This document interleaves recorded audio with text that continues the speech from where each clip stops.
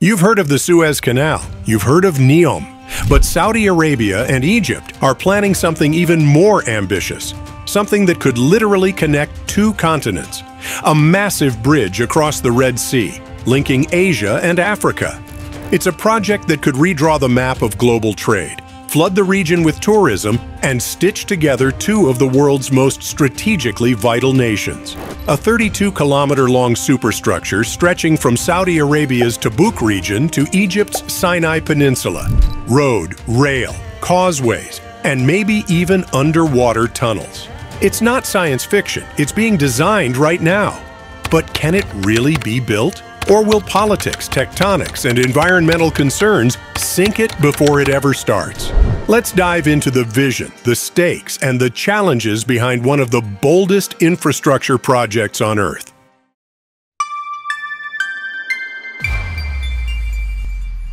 The proposed Saudi-Egypt Red Sea Bridge would cross the Strait of Tiran, a narrow but deep passage between the Egyptian Sinai and Saudi Arabia's northwest coast. At nearly 32 kilometers, or 20 miles, it's longer than the Øresund Bridge between Denmark and Sweden, and more complex than almost any bridge on Earth. The plan combines multiple engineering elements, long causeways over shallow reef platforms, towering suspension spans across deep water, and possibly even underwater tunnel sections to preserve marine routes. It's not just for cars. This is a multimodal corridor designed to carry high-speed rail, freight trains, and passenger vehicles. If completed, it would link Saudi Arabia's planned land bridge rail system with Egypt's national rail network. For the first time, you could hypothetically drive or take a train from the Persian Gulf to North Africa without crossing a single sea. Cost estimates currently sit around $4 billion, and the projected construction time is eight years. On paper, that sounds ambitious. In reality, it's a race against some massive forces, both natural and political. This idea isn't new. The concept of a Red Sea bridge between Egypt and Saudi Arabia was first floated in the 1980s, during a time when both countries were juggling internal challenges and regional alliances. Back then, the project stalled for the usual reasons political tensions, limited funding, and the sheer difficulty of building across such a volatile stretch of sea. But in 2016, things changed. King Salman of Saudi Arabia and Egyptian President Abdel Fattah el-Sisi signed a set of agreements that reignited the vision. As part of the deal, Egypt officially recognized Saudi sovereignty over the Tiran and Sanafir Islands, two key pieces of territory in the strait that would anchor the bridge's supports. Fast forward to 2025. The technical planning is nearly complete. Feasibility studies are in their final phase. Multiple design models have been reviewed, and environmental assessments are underway.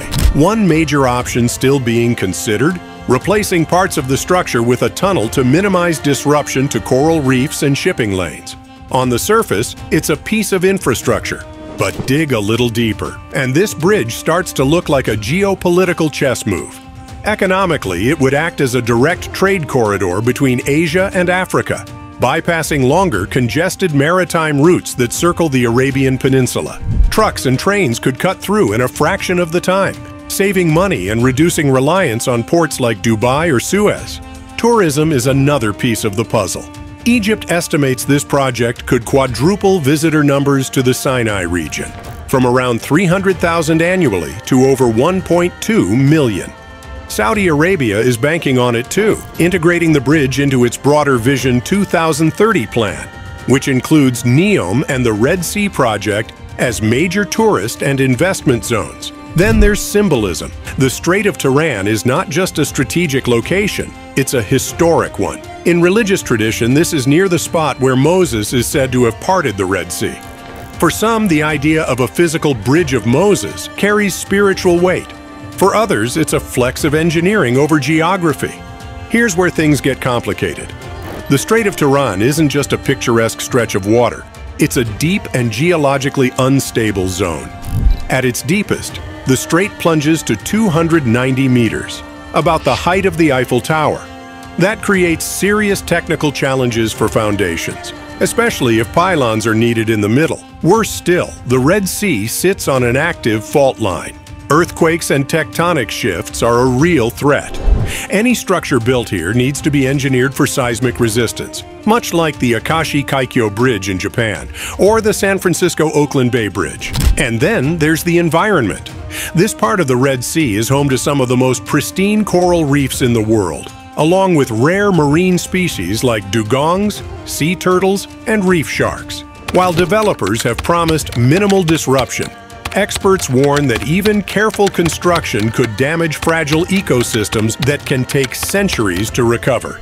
To mitigate this, planners are considering a hybrid design that lifts major spans over sensitive reef zones or tunnels beneath shipping lanes. But those measures drive up costs and construction complexity. The engineering challenges are serious, but they pale in comparison to the politics. This region sits at a complex crossroads of interests. Israel has treaty-protected navigation rights through the Strait of Tiran, guaranteed under the Camp David Accords. Any interference with those routes, during or after construction, could spark diplomatic blowback. Saudi Arabia and Egypt must maintain airtight cooperation throughout the entire process, despite facing their own internal and regional tensions. From the ongoing conflict in Yemen to piracy threats in nearby waters, the area isn't exactly stable. And long-term projects like this are highly vulnerable to leadership changes. A shift in power in either country or pressure from environmental groups or foreign powers could delay or derail the project entirely. Big ideas like this don't always make it to reality.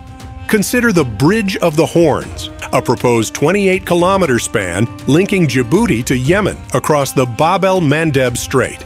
It was championed by international investors in the early 2000s until conflict in Yemen made the region too unstable to touch.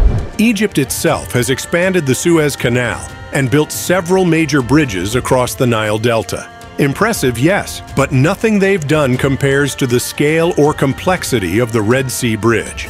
This project, if completed, would instantly rank among the longest and most geopolitically sensitive bridges ever built.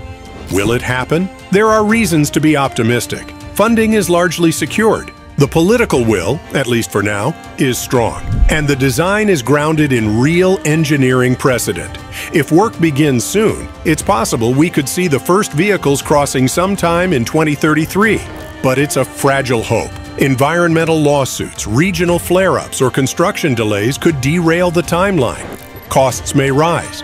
Treaties might be tested. This isn't just a construction project. It's a diplomatic balancing act on a tectonic fault line.